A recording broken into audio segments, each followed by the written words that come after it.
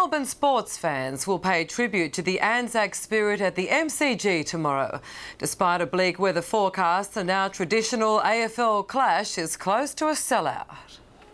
The calm before the Anzac Day storm, keeping one eye on the sky, ground staff work to ensure the hallowed turf is a picture at least before the first bounce. We look forward to it every year as much as a grand final. The impact of a day like this, huge crowd, two big teams, great followers and uh, massive interest across the nation. In the main kitchen, chefs are working double time on heartwarming fare. We'll probably do about seven, 8,000 corporate meals tomorrow.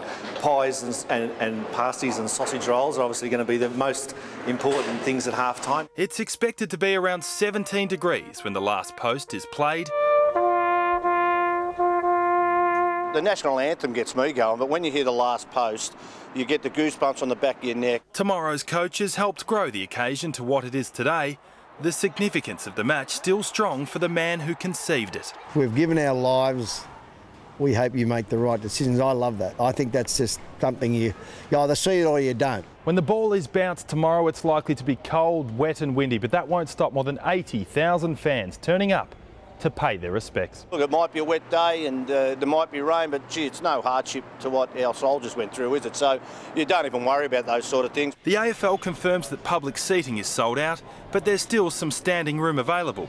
Car parks will be open at the ground, but fans are reminded that tramworks in Elizabeth Street will make for slow going. Nick Butler, 10 News.